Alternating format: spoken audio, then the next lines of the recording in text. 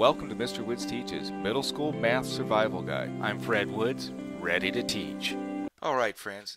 This is Mr. Woods Teaches, and today we're working on how to find a whole from a percent. What do you mean by that? Well, we have 9 is 25% of what? And that's where that W or whole is right here. And if you recall, 25% is equal to 25 hundredths.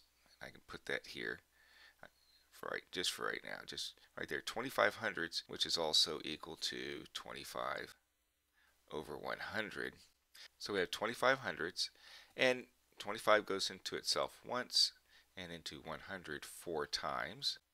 So now we can see that that is one fourth. So we have 25 one hundredths is one part of 4 when 4 of 4 is the whole. I set up this equation so 1 fourth is equal to 9 over that whole because 9 is 1 fourth or so this would be like 9 times 4 is equal to it because that's what we do here. We say z, we're going to cross multiply 1 times z is equal to z is equal to and then 4 times 9 36.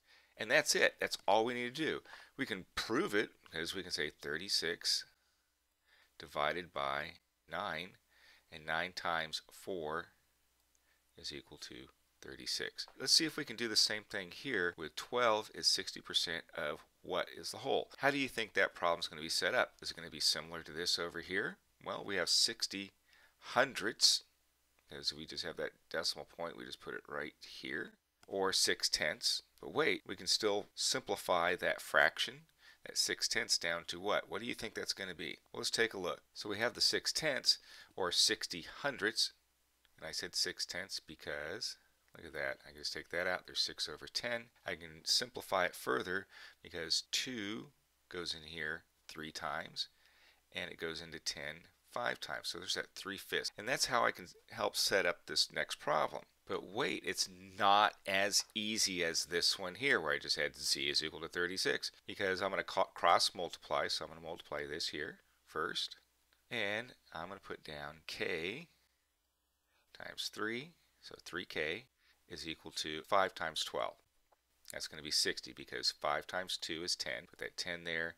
5 times 10 is 50 plus 10 more is 60.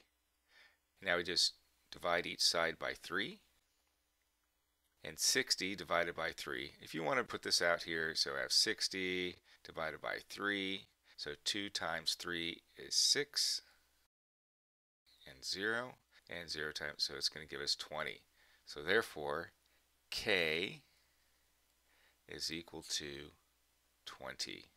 And that's how you find what the whole is from a percent. And remember, to be a math person, all you have to be is a person that does math. Have a great day. Thank you. Remember to like, share, and subscribe.